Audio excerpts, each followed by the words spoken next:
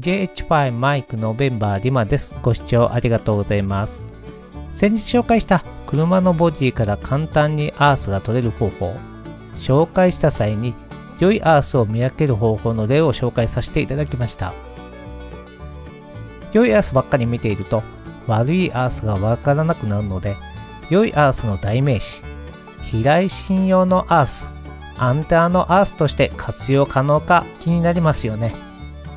飛来信用のアースは法律で10オーム以下に落とす必要があるので、電気的なアースとしては良質ですが、高周波である HF のアンテナのアースとしては良質なのか、ちょっとだけ実験してみました。飛来信のアースについては、昔はポールを立てて、建物の外側にアース線を這わせて、落雷時の電流を地上に流していました。このタイプは、飛来心に落雷があると、建物内の電気設備まで高圧が侵入する確率が高めとなっております。また、飛来心のみでなく、建物角に落雷を受ける場合も結構多いそうで、落雷の衝撃でコンクリートが割れるなどの被害が増加したため、最近では建物の角やフェンスなどの上に太いケーブルを網目のように這わせて建物全体の表面を使って落雷に備える方法が増えてきております。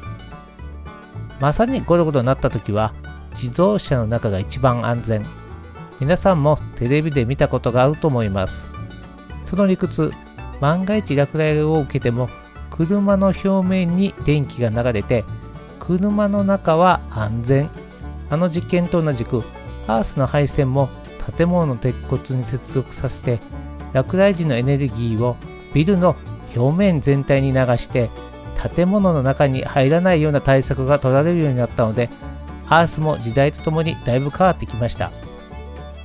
そのため実際に飛来芯の設置個数も増えて角にあるフェンスなどにも飛来用の太いワイヤーがあるので昔よりはアース簡単に取れるようになったので早速実験してみました。まずは一番近いアースとしてフェンスに設置されている飛来用の太いワイヤーの根元からアースを取ってみました。建物に傷をつけないように細心の注意払っております。実際にアンテナを調整している様子です。コイルの巻き数コンデンサの大きさエスタバーンの変化の様子見ていただければと思います。実験1フェンスに設置されている飛来用の太いワイヤーの根元。コイルは25ターン。コンデンサーは100ピコファラット。共振周波数は 7.11MHz エスタバール1.5以下の帯域は 230kg RF 電流は 30mV だいたいいつもと同じような感じになっております。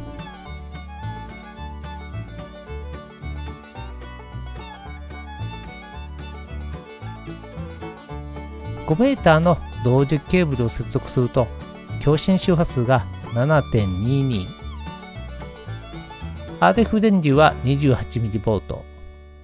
共振周波数が 0.1MHz 上がりました。いつもよりコイルが5巻以上少ない状態です。コンデンサーも100ピコファラット前後少ないです。エスタバールも手で触ると多少フラフラ変化しています。不安定ですがアンテナとしてはなんとか使えそうなレベルです。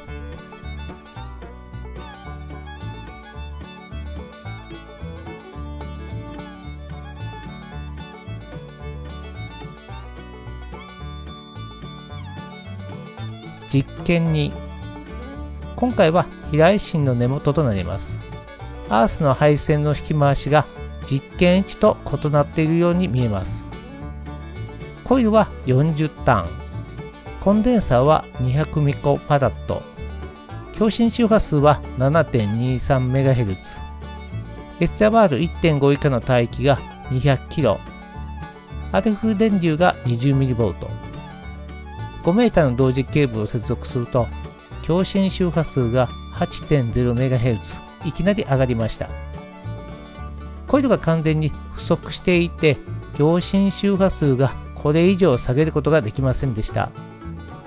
コンデンサーは通常と同じぐらい。手で触るとエステバールが大きく変化します。とても安定して使えませんでした実験3いつも通りの銀色マットグランドラジアルをいつも使っている環境となります。コイルは32ターン。コンデンサは200ピコパラット。共振周波数は 7.08MHz エスタバールは1.5以下の帯域 170kHz アルフ電流は 42mV 5m の同時ケーブルを接続すると RF 電流が 40.5mV 5m の同時ケーブルを接続すると共振周波数が 7.08MHz ケーキが見づらくて申し訳ございません。RF 電流が 40.5mV 手で触っても SWR あんまり変化しないと思います。とにかく実験1と2と比較すると調節中も SWR が安定しているので調整がとにかく楽でした。エレメントは同じく 6m のアルミ線ですがアースの違いでこんなに異なった特性となります。グランドラジアの実験でもコイルの巻き数数巻き程度の差はありますが今回のアースの比較のように本当にコイルの巻き数が増えたり減ったりびっくりしております。限られた環境にロングワイヤーアンテナを設置するとエレメントの設置も大変ですがアースの確保も結構苦労します。平用のアースの線なら良質と行きたいところですが高周波的には相性の悪い場合が多いです。最近は便利な自動式のチューナーが普及したため調整はしやすくなりましたがコイルコンデンサーの大きさも見えないため SWR の大きさしかわからない状況です。調整後の SWR しか見えないのでいつもとコイルやコンデンサーの変化比較する術がありません。調整の自動化により非常に便利になりましたがアースの状況の判断が難しくなっております。悪いアースに接続して無理やりロングワイヤー使っている方意外と多いと思います。実験1、2のようにアースに触ると SWR が変化する。同時ケーブの長さが変わると共振周波数が変化するような症状がある方は SWR が1まで下がっていてもアース点検された方がいいと思います。不安定な動きをするアースを見るとアンテナの動作を安定させるためのアース。重要性が分かっていただけると思います。なぜアースの違いでアンテナの特性が大きく変化するのか。飛来心のアースは大地から離れているのでアースというよりも高周波的には長いエレメントと考えた方が理解しやすいと思います。アースでなく長いエレメントが接続されており今回の実験の場合は斜めがよりエレメントが長い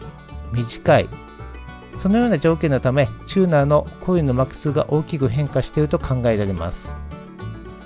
この部分については次回以降アースのタイプ別として紹介させていただきます。今回紹介した悪いアースの一例を紹介させていただきました。